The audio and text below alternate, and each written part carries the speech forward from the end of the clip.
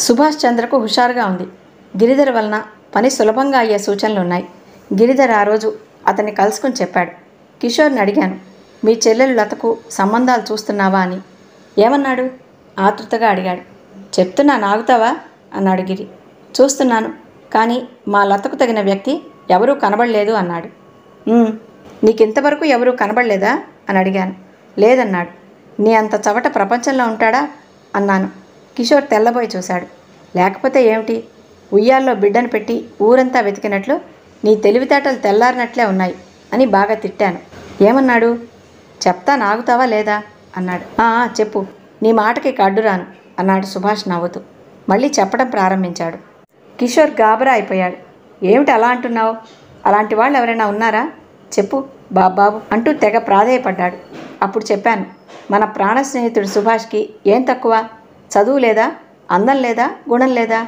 లక్షాధికారి బిడ్డ. గౌరవమైన కుటుంబంలో పుట్టాడు. అక్క చెల్లెళ్ళు లేరు.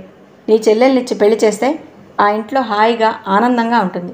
ఆడపడుచుల పోరుండదు కూతుళ్ళు లేని వాళ్ళు మీ చెల్లెల్ని కోడలిగా కాకుండా కూతురిగా చూస్తారు అంటూ చాలా చాలా చెప్పాను. అంతే. కిషోర్ నా కాళ్ళ మీద దబేల్మని పడిపోయాడు.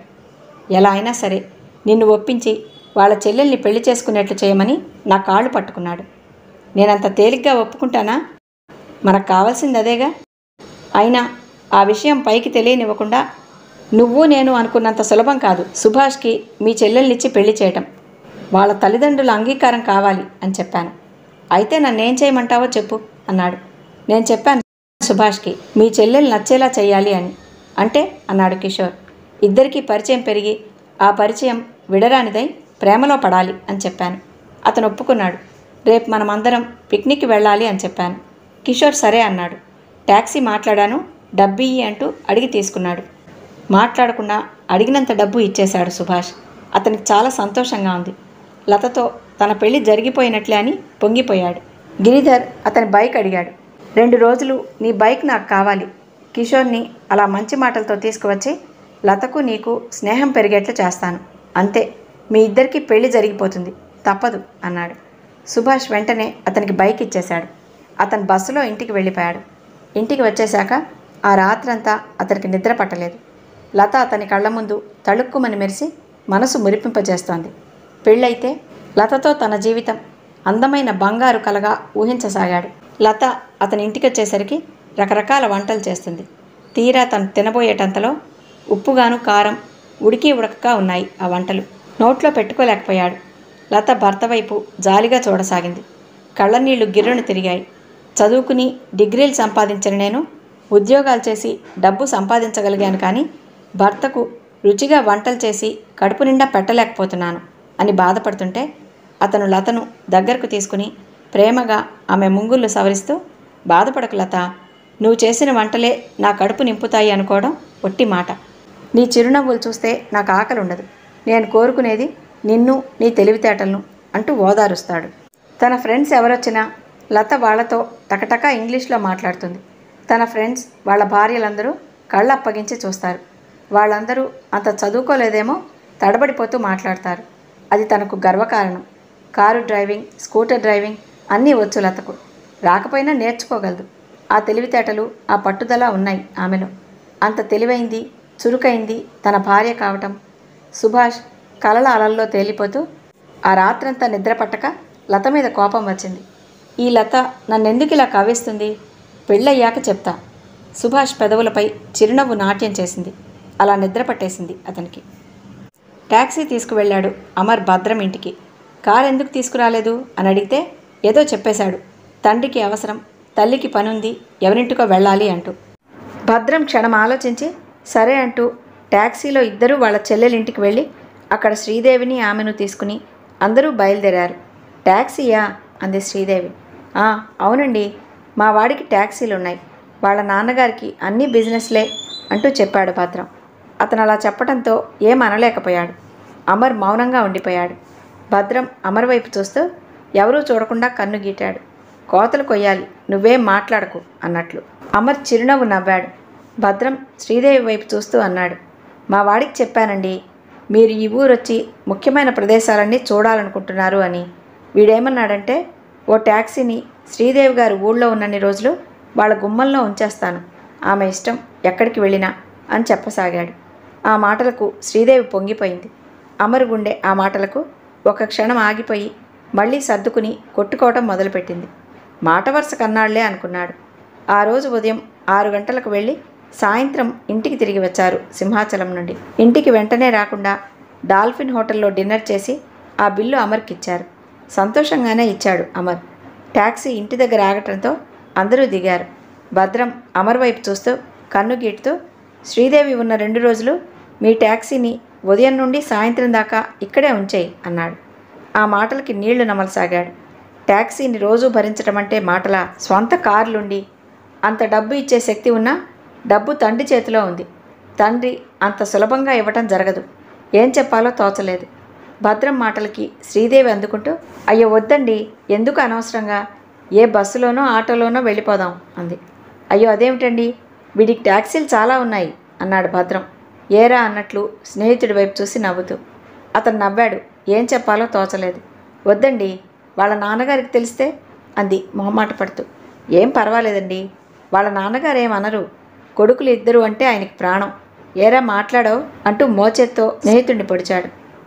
అమర్ నవ్వాడు. అదేమిటండి? వద్దంటారేమిటి? రేపు ఉదయం నుండి ఓ ట్యాక్సీ మీ ఇంటి ముందు అలా ఉంచేస్తాను. మీ ఇష్టం మీరు ఎక్కడికి వెళ్ళాలన్నా సినిమాలకి షికార్లకి షాపులకి మీ ఇష్టం అన్నాడు. మీరు మరీ నన్ను మొహమాట పెట్టేస్తున్నారు అంది శ్రీదేవి ఇబ్బందిగా. స్నేహాన్ని పెంచుకోవాలి అంటే ఎలా చెప్పండి? మన మధ్య అదే మీ మధ్య స్నేహం పెరగాలి అంటూ అమర్ శ్రీదేవిల వైపు చూశాడు భద్రం. శ్రీదేవి అమర్ వైపు అలా చూసింది క్షణంసేపు ఆ చూపుల్లో ఏదో తెలియని కాంతి తళుక్కుమంది. ఆ చూపుల్లో అభిమానం స్నేహం స్నేహం అట్టడుగు పొరల్లో ప్రేమ దాగుందని రహస్యం చెప్తున్నట్లుగా ఉంది. అమర్ ఆ చూపులకి మంచు ముక్క అయిపోయాడు. అతను నవ్వాడు. శ్రీదేవి చూపులు నేల మీదకు వాలిపోయాయి ఆమె కోసం ఎంత డబ్బైనా ఖర్చు చేయాలి అనుకున్నాడు. ఆమె తనకు కాబోయే భార్య. ఆమె కోసం ఆమె సంతోషం కోసం ఏమైనా చేయాలి అంటూ నిర్ణయించుకున్నాడు. అమర్ ఆ ట్యాక్సీని మాట్లాడేశాడు. రోజు ఉదయం ఆరు గంటలకి వచ్చి శ్రీదేవి ఇంటి ముందు ఉండాలి ఆమె స్నేహితురాలతో ఏ సినిమాకో షికార్లకో షాపులకు వెళ్ళినా కారులోనే వెళ్ళాలి. ఆమె బస్సులో కానీ ఆటోలో కానీ వెళ్ళకూడదు. పిక్నిక్ ఎక్కడికైనా వెళ్ళాలి అంటే అందరూ వెళ్తారు. అమర్ మాటలకి శ్రీదేవి పొంగిపోయింది. అతను వారం రోజులు యూనివర్సిటీకి సెలవు పెట్టేశాడు. అతని ధ్యాసంతా శ్రీదేవి మీదే. ఎన్నో పోటీలలో పాల్గొని అందాల సుందరిగా గెలుపొందిన ఆమె అంటే ప్రాణం. ఈ వారం రోజులుగా ఆమెతో పరిచయం పెరిగింది. శ్రీదేవి అతనితో ఎక్కువగానే మాట్లాడుతోంది. ఆ పరిచయం పెళ్ళిదాకా రాలేదు. ప్రేమ గాడిలో పడబోతోంది ఇక. అమర్కి చాలా సంతోషంగానే ఉంది. స్నేహితుడు భద్రం చేస్తున్న సాయం ఈ జన్మలో రుణం తీర్చుకోలేడు. అంత సాయం చేస్తున్నాడు భద్రం. అతని పెళ్ళి విషయంలో తను ఏదైనా సాయం చేయాలి. అతను ఏ అమ్మాయిని ప్రేమించినా ఆ అమ్మాయితోనే పెళ్ళి జరిపించాలని అనుకున్నాడు.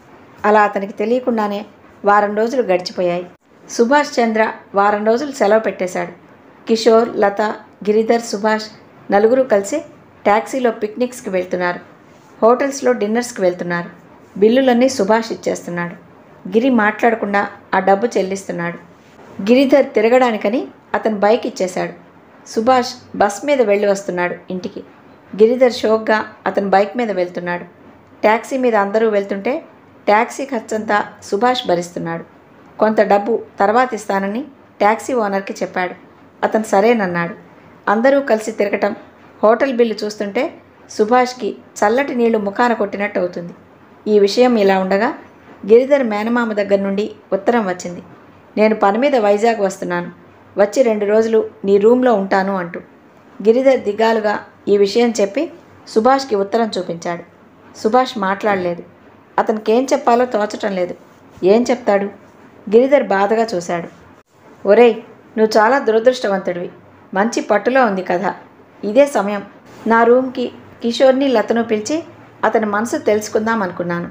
మా మామయ్య వెళ్ళే వరకు ఆ పని జరగదు అన్నాడు. సుభాష్కి గుండె ఆగినంత పని అయింది ఆయన ఈ రూమ్లో ఉన్నన్ని రోజులు నా పని అవదా? లతతో మాట్లాడటం కుదరదా? పైకే అన్నాడు. పోనీ గిరిధర్ ఏం చేస్తాం రాణి. గిరిధర్ అతని బాధను అర్థం చేసుకున్నవాడిలా క్షణమాగి అన్నాడు. మా మామయ్య వస్తే మనకి అడ్డు. అందుకుగాను మామయ్యను ఎక్కడైనా దింపితే ఎక్కడ దింపుతావు? ఆతృతగా చూశాడు. ఏదైనా హోటల్లో తాపీగా చెప్పాడు. సుభాష్కి మనసు తేలికైంది. దానికి ఖర్చు నేను భరించాలి. నా దగ్గర అంత డబ్బు లేదు. గిరిధర్ తాపీగా చెప్పాడు. పోనీలే ఆ హోటల్ ఖర్చు నేనే భరిస్తాను అన్నాడు. తన అవసరం మరి. నిజంగానా? అయితే సమస్య లేదు అన్నాడు గిరిధర్. తన ప్రేమకు అడ్డు ఉండదు అనుకున్నాడు. తేలికైన మనసుతో సుభాష్. అయితే అతని ఆనందం ఎంతోసేపు నిలవలేదు. సుభాష్ మాట లేకుండా గిరిధర్ వాళ్ళ మేనమామ రావటంతో స్టేషన్కి వెళ్ళి హోటల్లో దించి మరీ వచ్చాడు. ఆయనతో పాటు మరొక అతను వచ్చాడు. ఇద్దరికీ డబుల్ రూమ్ తీశాడు. వచ్చి తాపీగా చెప్పాడు. చచ్చ ఈ వైజాగ్ ఉంది చూసావు? డబ్బు పేరెత్తితే కడుపు బాణలా తయారవుతుంది. ఎక్కడా హోటల్స్ లేవు. ముందుగా బుక్ చేయలేదంటూ రూమ్స్ ఖాళీ లేవని చెప్పేశారు. మా ఫ్రెండ్ ద్వారా డాల్ఫిన్ హోటల్లో డబుల్ రూమ్ తీసి మామయ్యను ఆయనతో వచ్చిన అతన్ని దింపి ఇలా వచ్చాను అంటూ చెప్పడంతో సుభాష్ డామ్మని క్రింద పడిపోబోయి పడకుండా నిలదొక్కుని రాని నవ్వు బలవంతంగా తెచ్చుకొని నవ్వాడు. ఆ నవ్వు అదోలా ఉంది. ప్రాణం పోయే ముందు చిరునవ్వులా ఉంది. గిరిధర్ అతని భుజం మీద చరిచాడు. ఈ డబ్బంతా నిన్ను భరించమనటం నాకు సిగ్గుగానే ఉంది. కానీ నీ అవసరం లేకపోతే వాళ్ళొచ్చి నా రూమ్లోనే ఉందరు. ఏమంటావు? అడిగాడు. సుభాష్ తలూపాడు అవునంటూ. అతనికి లోపల మనసులో గుర్రుగానే ఉంది. వెధవ నీ ముఖం చూస్తే వాంతి అవుతుందిరా చీపో వెధవ ముఖం నువ్వును. అలా నవ్వకు నాకు అసహ్యం వేస్తోంది. చిచి నిన్ను తన్నినా చంపినా పాపం లేదురా. ప్రేమలో పడ్డానని కదా ఈ లోకువ? లత మెడలో నేను మూడు ముళ్ళు వేశాక అప్పుడు అప్పుడు చెప్తారా నీ పని? నీ మెడలో నులకతాడుతో అరవై ముళ్ళు వేసి బిగిస్తారా? ఈ సుభాష్ అంటే ఏమనుకున్నావురా? మనసులో కోపంగా ఏమేమో అనుకున్నాడు. పైకి మాత్రం నవ్వుతూనే ఉన్నాడు. వారం రోజులు గడిచిపోయాయి. లతా కిషోర్లతో షికార్లకి సినిమాలకు వెళ్ళటం కంటే గిరిధర్ వాళ్ళ మామయ్యతో కలిసి ట్యాక్సీ మీద తిరగటం ఎక్కువైపోయింది. పైగా బైక్ అతని దగ్గరే అట్టే పెట్టుకున్నాడు. గిరిధర్ మేనమామ వారం రోజులైనా డాల్ఫిన్ హోటల్ నుండి కదిలే సూచనలు లేవు. పైగా ఆయన ఫ్రెండ్ కోరిన తిండి వాళ్ళతో పాటు గిరిధర్ కోరిన తిండి వీటికి బిల్లన్నీ భద్రంగా సుభాష్కి చేరిపోతున్నాయి. ఆ బిల్లులు చూస్తుంటే సుభాష్కి ఉరిపోసుకు చావాలనిపిస్తోంది. ఏం చేస్తాడు? అవస్థపడి డబ్బు తీసుకువస్తూ అలా నాటకం ఆడుతున్నాడు. సుభాష్కి చేతిలో పైసా ఉండటం లేదు. హోటల్లో ఏమైనా తిందామన్నా డబ్బు ఉండటం లేదు. ఫ్రెండ్స్ సినిమాకు వెళదామని అంటున్నా మాట వినిపించుకోనట్లుగా నవి ఊరుకుంటున్నాడు. బస్సులు దొరకటం కష్టం. నడిచి వెళ్తున్నాడు నడిచి వస్తున్నాడు. లతతో పరిచయం పెరిగిన మాట నిజమే. గిరిధర్ ఈ విషయంలో సాయం చేస్తున్నాడు కాదనటం లేదు. లత విషయం సాకుతో డబ్బు గుంజేస్తున్నాడు. తను తట్టుకోలేకపోతున్నాడు. తల్లిని అడుగుతుంటే ఎంతకనిస్తుంది? అటు అమర్ డబ్బు అడగటమే ఇటు సుభాష్ తల్లిని డబ్బు అడగటమే. ఆవిడ దాచుకున్న డబ్బంతా చెరిసగం కొడుకులిద్దరికీ పంచిచ్చేసి మరికి నన్ను డబ్బు అడక్కండి అంటూ చెప్పేసింది. ఆవిడ చేతిలో కూడా డబ్బు ఆడటం లేదు. అంతా రామస్వామి గారి పెత్తనం ఆ ఇంట్లో. అందరూ కూర్చో అంటే కూర్చోవాలి నిలబడు అంటే నిలబడాలి అంతే. కొడుకులు ఇద్దరు ఒక్కోరోజు గడుస్తుంటే ఇటు సుభాష్కి అటు అమర్కి ప్రేమ మాట దేవుడెరుగు అనిపిస్తోంది. డబ్బు ఎంత తవ్వి తీసుకువెళ్తున్నా ఇటు గిరిధర్కి అటు భద్రానికి కళ్ళు నిండటం లేదు. వాళ్ళిద్దరి జీవితం దర్జాగా సాగిపోతోంది. గిరిధర్ బైక్ మీద ఊరంతా తిరుగుతుంటే సుభాష్ నడిచి వెళ్ళి నడిచొస్తున్నాడు. కార్ తీసుకువెళదామంటే తండ్రికి అనుమానం వస్తుందని భయం. భద్రం చూస్తే చాలా హుషారుగా ఉంటున్నాడు. ట్యాక్సీ మీద తిరిగేస్తున్నాడు. అమర్కి ఓపిక తగ్గిపోతూ ఉత్సాహం తరిగిపోతున్నట్లు అనిపిస్తోంది. అయినా ఏదో ఆశ మనసులో చావటం లేదు. అమర్ మనసుని శ్రీదేవి చుట్టేస్తే సుభాష్ మనసుని లత చుట్టేస్తోంది.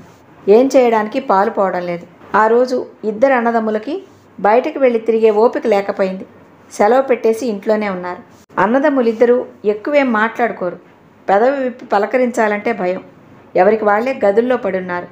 ఇంటి దగ్గర అన్నాలు టిఫిన్లు రెండు రోజుల నుంచి లేవు. ఆవురు ఆవురుమంటూ తింటున్నారు. అంతకుముందు అలా తినేవారు కాదు. సుభాష్ తమ్ముడికి చెప్పాలి ఈ విషయం అని చెప్పలేకపోయాడు. అమర్ అన్నకు చెప్పాలి అని చెప్పలేకపోయాడు. సీతాలక్ష్మమ్మ కొడుకుల వైఖరి గమనిస్తోంది రెండు రోజులుగా. ఆవిడకి అర్థం కావడం లేదు. ఎందుకు అలా ఉంటున్నారో ఏం జరిగిందో ఏమిటో తెలియటం లేదు. వాళ్ళిద్దరినీ అలా చూస్తుంటే మనసు తరుక్కుపోతున్నట్లుగా ఉంది. ఎప్పుడు వాళ్ళు అలా భోజనం చేయగా చూడలేదు. అంత ఆకలి మీద ఉంటున్నారా? ఇస్తున్న డబ్బంతా ఏమవుతుంది? ఎందుకు అలా ఉంటున్నారు? భర్తకు చెప్తే ఆయనకు అస్సలు ఏం తెలియదు ఊరికే కేకలు వేస్తారు. చెప్పింది అర్థం చేసుకోరు మాట వినరు. ఆవిడకి ఏం పాలు పోలేదు. ఎప్పుడు ఇంటి దగ్గర ఉండని వాళ్ళు ఎక్కువ ఇంటి దగ్గరే ఉండటం రామస్వామి గారు కూడా గమనించారు. ఆ విషయమే భార్య దగ్గరంటే ఆవిడ అదేనండి నాకు అర్థం కావటం లేదు. ఆయన మనసులో ఏదో ఆలోచించుకుని తల పంకించారు. అదా సంగతి అన్నట్లు. భర్త పెదవులపై చిరునవ్వు చూసి ఆవిడ ప్రశ్నార్థకంగా చూసింది. మనం ఎలమంచిల అమ్మాయిని చూసి వచ్చాం కదూ? అన్నారు. విషయం చెప్తూ. అవునన్నట్లు తల ఊపింది ఆవిడ. అబ్బాయిలు ఎందుకలా ఉన్నారో వివరించి చెప్పసాగారు ఆయన. మనం మళ్ళా పెళ్ళి మాట ఎత్తలేదు. ఆ సంబంధం మాట మనమేం మాట్లాడటం లేదని పెద్దబ్బాయి అలా ఉండటానికి కారణం. పెద్దవాడికి పెళ్ళైపోతే తనకి పెళ్ళి చేసేస్తారని చిన్నవాడి ఆలోచన. అందుకే వాళ్ళు అలా ఉంటున్నారు అంటూ నవ్వారు. ఆవిడ విస్తుపోయింది భర్త మాటలు వింటూ. ఏ వయసులో జరగవలసింది ఆ వయసులో జరిగితే ముచ్చట. ఆవిడ మనసులో నిజమే అనుకుంది. వయసు వచ్చిన పిల్లలు అమ్మాయిల మీదకు మనసు మళ్ళకుండా ఋషుల్లా ఉంటారా? ఈ రోజుల్లో త్వరలో పెళ్ళిళ్ళు చేసేయటం మంచిది అన్నారు. ఆవిడ అలాగే అన్నట్లు తల ఊపింది. ఏదో ఆలోచిస్తున్నట్లుగా ఎటో చూస్తూ. ఎలమంచిలి వాళ్ళు కబుర్ చేశారు. వెళ్దాం అన్నారు. ఆ సంబంధమా? అంది. ఆవిడ ముఖం అదోలా పెడుతూ. ఏ? ఆ సంబంధమా అంటున్నావు? అమ్మాయి ఏం చదువుకోలేదు. అబ్బాయి ఇష్టపడతాడో లేదో అంటూ మాట ఆపేసింది. ఎందుకు ఇష్టపడడు? వెళ్ళి చూసి వచ్చాం. ఏం మాట్లాడలేదనేగా వాళ్ళు అలా ఉంటున్నారు. నువ్వు ఇక ఏం అడ్డు చెప్పకు అన్నారు ఆయన. ఆవిడ మౌనం వహించింది. ఆ రోజు అమర్ బైక్ మీద బయలుదేరుతుంటే సుభాష్ పిలిచాడు. అమర్ నేను వస్తానుండు అంటూ అతను ఆగాడు. అన్న తమ్ముడు ఇద్దరూ బైక్ మీద వెళ్తున్నారు. నీ బైక్ ఏది? అడిగాడు అమర్. ఫ్రెండ్కి ఇచ్చాను ముక్తసరిగా చెప్పాడు. ఇంకా ఇవ్వలేదా? అతను మాట్లాడలేదు. బైక్ ఆగిపోయింది. ఏ ఏమైంది? పెట్రోల్ అయిపోయింది ముక్తసరిగా చెప్పాడు. పెట్రోల్ బంక్కి తీసుకువెళ్ళాలా? అడిగాడు సుభాష్. అన్నగారి మాటలకు అదోలా నవ్వాడు. పెట్రోల్ బంకా అంటూ. డబ్బులుంటేగా? అన్నాడు అమర్. ఆ పెట్రోల్ పోయించడానికి డబ్బులు కూడా లేవా? లేవు. అయితే ఎలా? ఎలా ఏమిటి? దగ్గరలో మా ఫ్రెండ్ ఇల్లుంది. బైక్ అక్కడ పెట్టేసి నడుచుకుని వెళ్దాం అన్నాడు అమర్. సుభాష్ మాట్లాడలేదు. బైక్ ఫ్రెండ్ ఇంట్లో పెట్టి వచ్చాడు. చెమటలు పట్టేసి ఉన్నాయి అమర్కి. కచ్చీఫ్తో ముఖం తుడుచుకుంటూ నీరసంగా నడవసాగాడు. ఇద్దరూ యూనివర్సిటీ వైపు దారి తీశారు వెళ్ళడానికి మంచి రోజు చూసుకుని కొడుకులిద్దరినీ బయలుదేరమన్నారు. సుభాష్ అమర్ మేమెందుకు? రామన్నారు తల్లి తండ్రి మరోలా అనుకున్నారు. వాళ్ళ మనసులో ఉద్దేశం అర్థం కాలేదు. రామస్వామి గారు సీతాలక్ష్మమ్మ వెళ్ళడానికి ప్రయాణం అవసాగారు. అంతలో ట్యాక్సీ ఓనర్ వచ్చి చెప్పాడు. ఇన్ని రోజులు మిమ్మల్ని అడగలేదు. మా ట్యాక్సీ అబ్బాయి గారు తీసుకున్నారు. ఇంతవరకు పైసా కట్టలేదు అంటూ. ఏ అబ్బాయి? అని అడిగారు. మీ చిన్నబ్బాయి అమర్నాథ్ గారు అని చెప్పాడు అతను ఆశ్చర్యంగా ఉందే మా అబ్బాయికి కారు ఉంది బైక్ ఉంది ట్యాక్సీ తీసుకున్నాడా అంటూ ఆశ్చర్యంగా అడిగారు ఆయన. మీరు మీ అబ్బాయి గారిని అడిగి చూడండి అన్నాడు అతను. సరే మీకు రావాల్సిన డబ్బు ఇచ్చేస్తాను అని చెప్పి పంపించేశారు. మళ్ళా హోటల్ నుండి ఫోన్. మీ అబ్బాయి సుభాష్ చంద్ర గారు రూమ్ తీసుకున్నారు. డబ్బు కట్టలేదు. మీ అబ్బాయి కదా అని మేము అడగలేదు. ఇప్పుడు మాట్లాడటం లేదు అని చెప్పడంతో ఆయన ఆశ్చర్యపోయారు. కొడుకులు అలా చేశారనగానే ఆయనకు కోపం ముంచుకు వచ్చింది. కొడుకులు ఇద్దరిని నిలదీసి అడిగారు. వాళ్ళేం మాట్లాడలేదు. ఏం చెప్తారు? అలా నిలబడిపోయారు. కోపంగా కేకలు వేయటంతో చెప్పారు. ఫ్రెండ్స్ కోసం రూమ్ బుక్ చేశాను అని ఫ్రెండ్కి బైక్ ఇచ్చాను అని ఫ్రెండ్ కోసం తీసుకున్నాను అని సుభాష్ చెప్పాడు. అమర్ చెప్పాడు ఫ్రెండ్ కోసం ట్యాక్సీ తీసుకున్నాను ఫ్రెండ్స్కి డబ్బిచ్చాను అంటూ. ఆయన గట్టిగా కేకలేసి మళ్ళీ ఇలా జరిగిందో చంపేస్తాను అని చెప్పి ట్యాక్సీలకు హోటల్ బిల్స్ ఆయన చెల్లించారు. అప్పుడు తండ్రి తిట్టినా మనసు తేలికైంది. తండ్రి తిట్టింది వేరు పై వాళ్ళకి డబ్బులు ఇవ్వకపోతే తిట్టింది వేరు. మనసు తేలికైంది వాళ్ళకి. అయినా డబ్బులు అడగటం మానలేదు. ట్యాక్సీలకి డబ్బు ఇవ్వక తప్పటం లేదు. వాళ్ళ పరిస్థితి ఇరకాటంలో పడింది. లతా శ్రీదేవిలో మార్పు వస్తోంది. లతా సుభాష్తో శ్రీదేవి అమర్తో ఎక్కువగా మాట్లాడుతున్నారు. రామస్వామి గారు యలమంచిలి వెళ్ళే ముందు బాగా ఆలోచించుకుని ఒక నిర్ణయానికి వచ్చారు. అబ్బాయిలకు తొందరలో పెళ్ళిళ్ళు చేసేయాలి. వాళ్ళు డబ్బుని మంచినీళ్ళలా ఖర్చు చేస్తున్నారు. అంతేకాదు ఆయనకు తెలిసిన వాళ్ళు చెప్పారు. సుభాష్ గురించి అమర్ గురించి.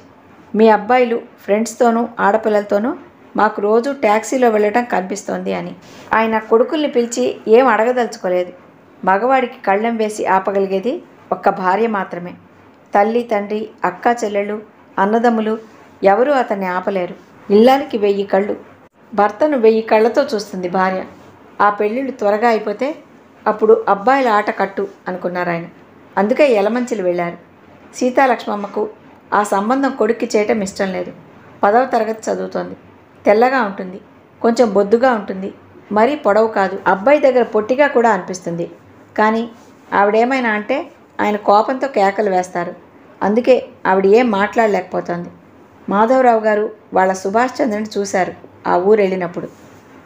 అమర్నాథ్ తెలుసు. అతన్ని చూశాడు. రామస్వామి గారు చెప్పారు మీ అమ్మాయి మహాలక్ష్మిని మా పెద్దబ్బాయి సుభాష్ చంద్రకు చేసుకుంటామని. అప్పుడే మాట ఇచ్చి పుచ్చుకున్నారు.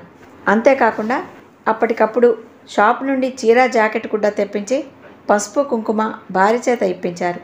ఆవిడకి ఏం చేయాలో పాలు పోలేదు. ఈ కాలం పిల్లలు అమ్మాయిల్ని చూడకుండానే చేసుకుంటారా? ఒక్క మాట వాళ్ళకి ఏం చెప్పలేదు అని విసుక్కుని ప్రాణం ఒప్పక మెడలో చిన్న గొలుసు తీసి కాబోయే కోడలు మెడలో వేసింది. వస్తువు పెట్టకపోతే ఎలా అనుకుంటూ మాధవరావు గారి తమ్ముడు మూడవ ఆయన పేరు త్రినాథరావు గారు. ఆయనకు ఇద్దరే కూతుళ్ళు కొడుకులు లేరు. పెద్దమ్మాయి మోహన. ఆ అమ్మాయి ఆ ఇంట్లో చకచక తిరుగుతూ ఎవరికి ఏం కావాలో చూస్తోంది. రామస్వామి గారి దృష్టి ఆ అమ్మాయి పైన పడింది. ఈ అమ్మాయి ఎవరు? అడిగారు. మా తమ్ముడు త్రినాథరావు గారి అమ్మాయి మోహన.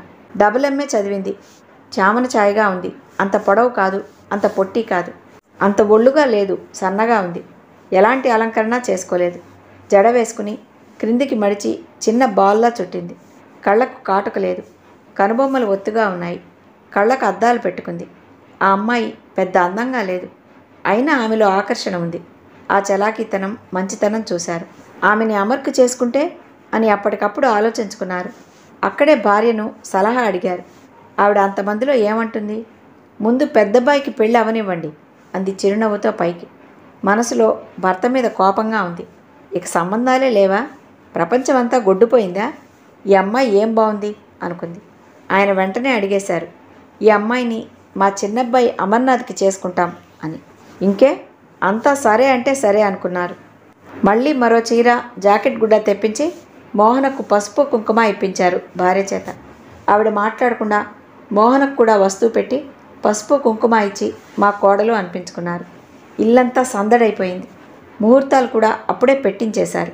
సుభాష్ చంద్ర మహాలక్ష్మికి అమర్నాథ్ మోహన్కి పెళ్ళికి ముహూర్తం పెట్టించారు.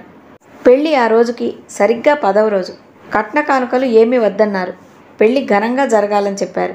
వాళ్ళు సరే అన్నారు. రామస్వామి గారి దంపతులు తిరుగు ప్రయాణమయ్యారు. సీతాలక్ష్మమ్మకు మతి పోతున్నట్లుగా ఉంది. కోడళ్ళు పెద్ద అందమైన వాళ్ళు కారు. పైగా ఒక అమ్మాయికి పెద్ద చదువు లేదు. మరో అమ్మాయికి చదువు ఉంది. అబ్బాయిలిద్దరూ ఒప్పుకుంటారా? వాళ్ళు ఇంటికి వెళ్ళాక ఏమంటారో? ఏం గొడవ జరుగుతుందోనని ఆవిడ భయం. ఆయన ఆవిడ మనసులో విషయం గ్రహించుకున్నట్లే మౌనం వహించారు. ఆవిడ కొడుకులకి ఏం చెప్పదలుచుకోలేదు. ఆయన ఏం చెప్తారో ఎలా ఒప్పిస్తారో? ఇష్టపడితే చేస్తారు. లేదా ఎలమంచిలి వాళ్ళకి ఏం చెప్తారో చెప్తారు అనుకుంది ఆవిడ. కారు ఇంటి ముందు ఆగింది. మాధవరావు దంపతులు త్రినాథరావు దంపతులకి చాలా ఆనందంగా ఉంది. కూతుళ్ళకి సంబంధం నిశ్చయమైపోయింది. పెళ్ళికి ముహూర్తం పెట్టడం కూడా జరిగింది. పెళ్ళి ఇంకా ఎన్నో రోజులు లేదు. పది రోజులే ఉంది. వాళ్ళకి అమలాపురం దగ్గర భూములు తోటలు ఉన్నాయి. చాలా డబ్బున్న వాళ్ళు బియ్యం పప్పులు మిరపకాయలు ఏం కావలసినా వాళ్ళ ఊరు నుండే తెచ్చుకుంటారు. త్రినాథరావు గారికి కొడుకులు లేనందువలన కూతురికి మోహన అని పేరు పెట్టుకున్నారు. భార్య నెలలు నిండి ఉన్నప్పుడు ఆయన కలలో పిల్లను గ్రోవి ఊదుతూ చిన్న అబ్బాయి కలలో కనిపించటంతో కృష్ణుడని నమ్మారు. తనకి కొడుకు పుట్టబోతున్నాడు. ఆ పేరు పెట్టమని కాబోలు అనుకున్నారు. ఆయన కూతురు పుట్టింది. మోహన్ అని అబ్బాయి పుడితే పెట్టాలనుకున్నారు. అందుకు కూతురికి మోహన అని పేరు పెట్టుకున్నారు. ఆయనకు తర్వాత కూతురే పుట్టింది. త్రినాథరావు బాధపడలేదు. నాకు వీళ్ళే కొడుకులు అని మోహనని చదివించసాగారు.